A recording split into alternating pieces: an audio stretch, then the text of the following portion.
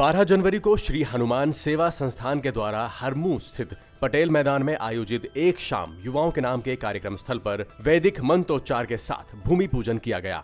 श्री हनुमान सेवा संस्थान के अध्यक्ष श्री राकेश भास्कर ने बताया है कि ठंड को ध्यान में रखते हुए विशेष पंडाल का निर्माण कराया जा रहा है। भूमि पूजन के खास मौके पर संस्थान के संरक्षक सूर्यमणि सिंह, प्रमोद सारस्वत, मंजू रानी, आलोक कुमार, नवीन झा, धर्मेंद्र तिवारी, विमलेश सिंह हज कमेटी के सदस्य रिजवान खान, अभिषेक छाबड़ा, फारूक अंसारी, डॉक्टर राहुल, प्रेम कुरूप, राकेश सिन्हा समेत कई लोग उपस्थित थे।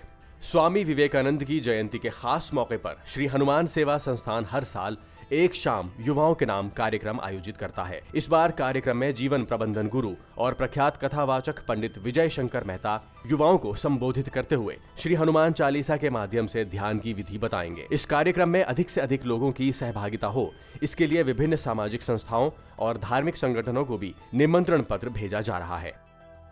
कीप वॉचिंग पर्यावरण पोस्ट